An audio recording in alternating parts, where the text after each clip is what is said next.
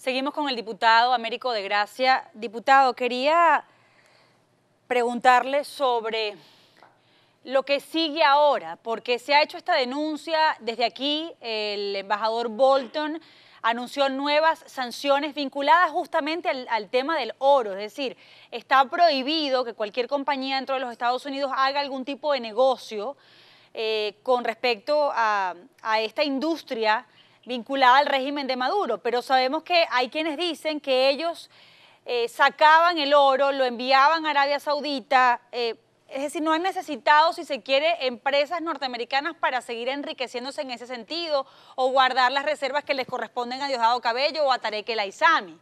Entonces, ¿de qué manera cree que esto los afecta en verdad? En mucho.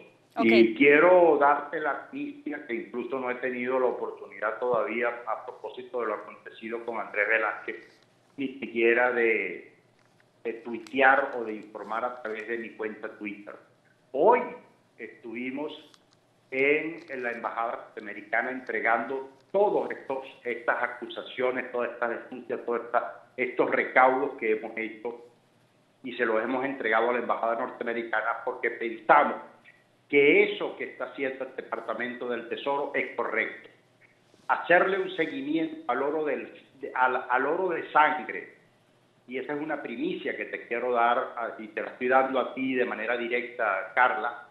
Eh, la embajada americana está enterada en este momento de todos estos detalles que nosotros hemos estado denunciando sobre la presencia del ELN, sobre la presencia del origen del oro, cómo se triangula, cuáles son los caminos verdes que escogen, quiénes se esconden detrás de cada uno de estas mafias eh, organizadas dentro de nuestro país para saquear la nación, para saquear su riqueza, para que el Departamento de Estado también le haga seguimiento a este oro que está siendo, eh, que está siendo eh, contrabandeado directamente por la narcodictadura hacia Turquía de manera específica y puntual.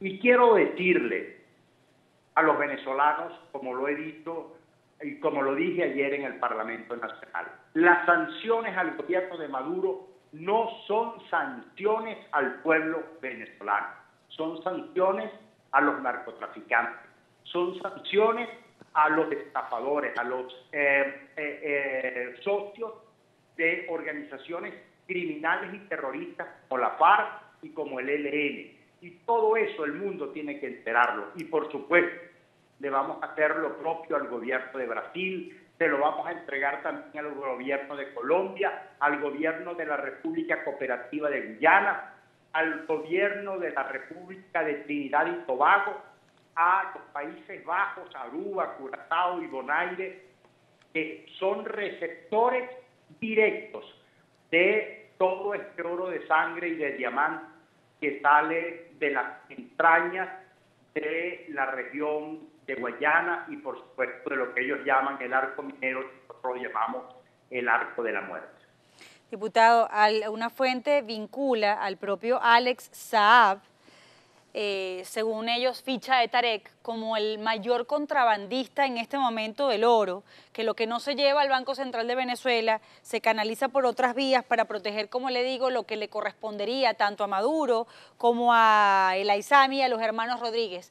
Todos ellos en verdad están vinculados con este asunto, con este negocio. Es decir, cada líder dentro de este régimen tiene una cuota para ellos de este botín. Por eso, por, e, por eso lamentablemente hemos dicho, y, lo hemos dicho de manera lamentable, que aquí no hay eh, lealtad, y lo que hay es complicidad.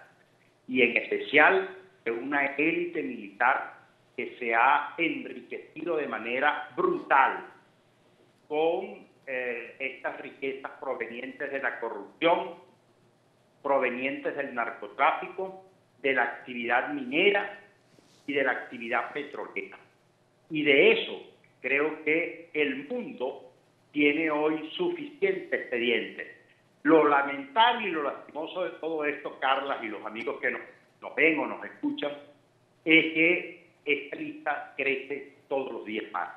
y los delitos crecen cada vez más y el espectro de actuación crece cada vez más. Y en la medida en que más se desesperan, en la medida en que más prosperque el, los países eh, eh, civilizados del mundo y democráticos, por supuesto, en esa misma medida arrestia la dictadura, la tiranía, la persecución, la represión dentro de nuestro territorio y esto es el lado, por supuesto, más complicado para nosotros. Diputado, ¿qué más ha sabido de Andrés Velázquez? Él está solo en este momento mientras el SEBIN lo rodea con estas tres camionetas en el estado Bolívar. Está, están pendientes sus vecinos en su centro, en el, urbanismo donde vive. Está solo con su esposa y su hija, una, niña de, 11 de 9 años. Y, eh, pero esta es la situación en este momento. Esperemos que eso no llegue a más y que el gobierno y el régimen entienda que la represión en este momento, en la medida en que nosotros la hagamos cada vez más visible, tiene menos ratos de acción. Los megáfonos, los, la, la visualizar el problema es lo que pudiera eventualmente advertir y alertar de lo que está ocurriendo eh, en estos espacios y en estos predios de esta Venezuela que para nosotros eh, tiene el alma desgarrada en medio de la, de la, de la tiranía más brutal. Y esta es una dictadura de un punto totalmente distinto al que vimos o, vivió Venezuela en el pasado, tanto con Pérez Jiménez, con eh, el señor Gómez, Juan Vicente Gómez, o cualquier otra dictadura que haya sufrido nuestro país en tiempos pasados. es una dictadura de un nuevo puño. Queremos hablar un rato más con usted de la situación dentro del Palacio Federal Legislativo, esto que ocurrió ayer, el debate del día de ayer, si nos lo permite, luego esta pausa ya en la etapa final del programa. Regresamos con esto.